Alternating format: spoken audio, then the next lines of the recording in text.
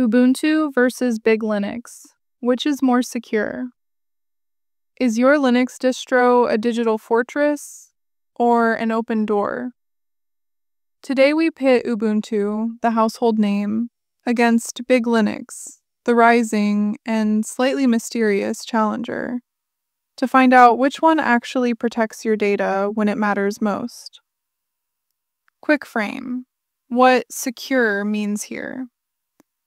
When we talk about security, we mean several things default attack surface, what ships installed, sandboxing and isolation, how fast and reliably security fixes arrive, how easy it is for you to harden the system, and how much official slash community support there is when something goes wrong.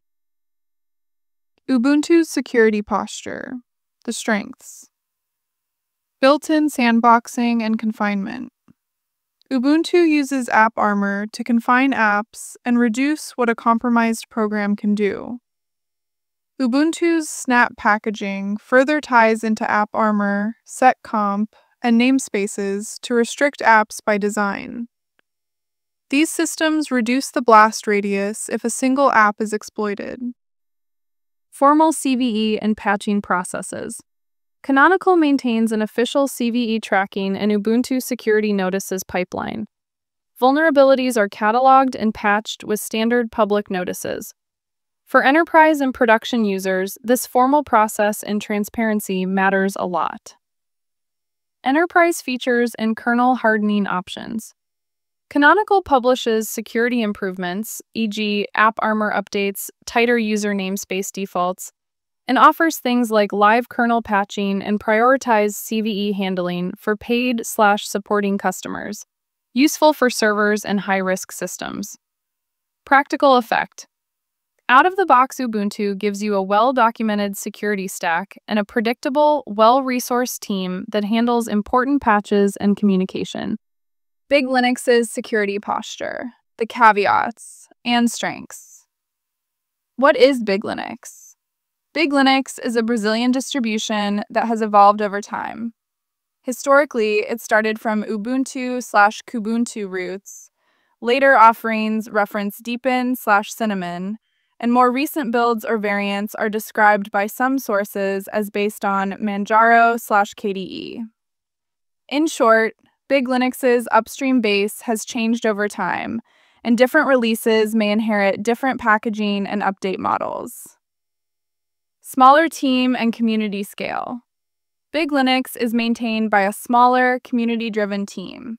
That can mean faster innovation or careful polish for desktop features.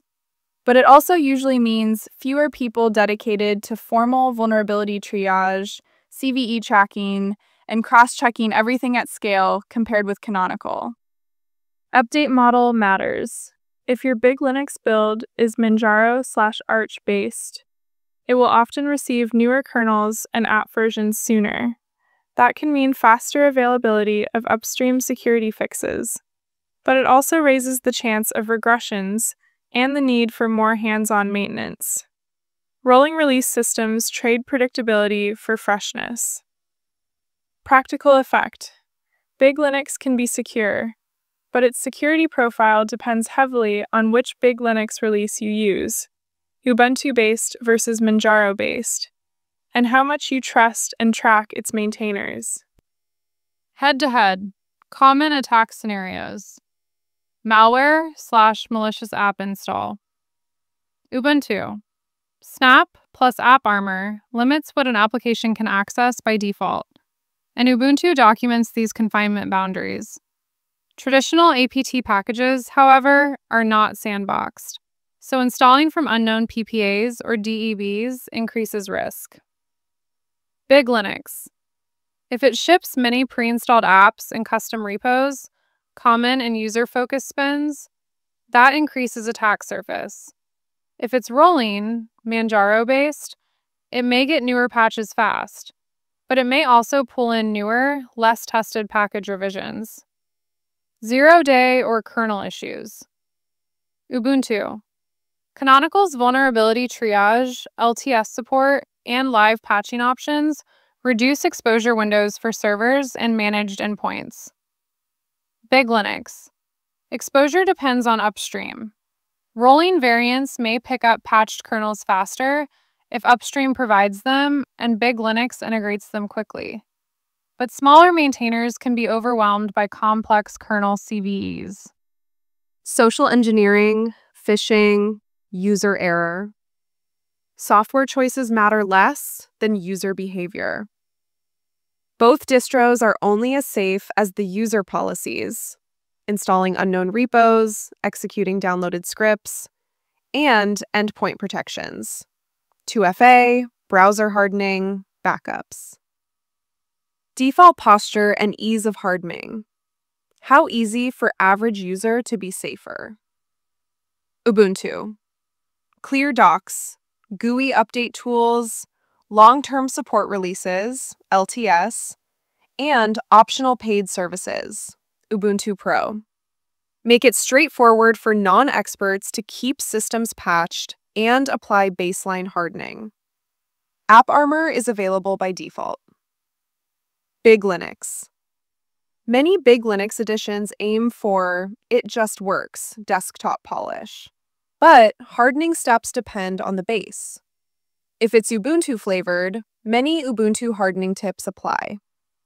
If it's Manjaro based, users should be comfortable with rolling release maintenance and reading update announcements. Practical, copy ready security checklist. Enable automatic security updates or check updates daily. Turn on AppArmor slash SE Linux where available and use confined packages, snaps slash flatpaks for risky apps. Avoid random PPAs and third party repos. If you must use them, verify the publisher and GPG key.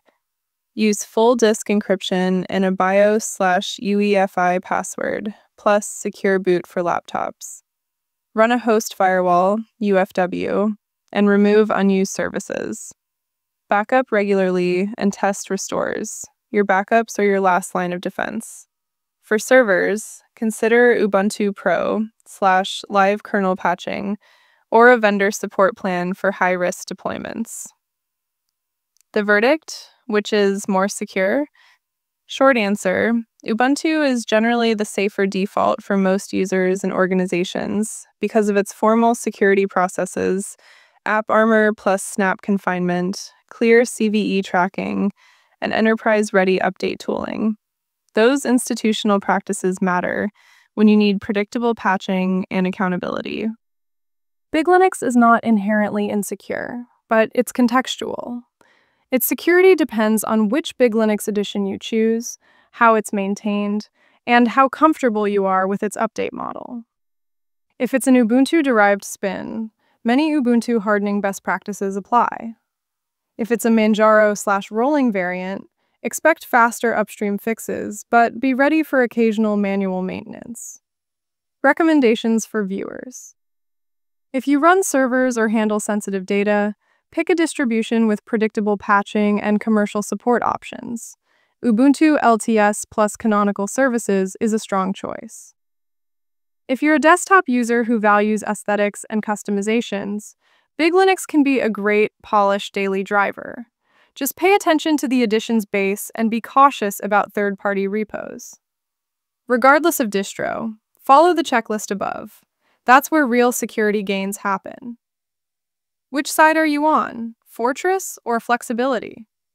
Drop your distro, setup tip, or horror story in the comments.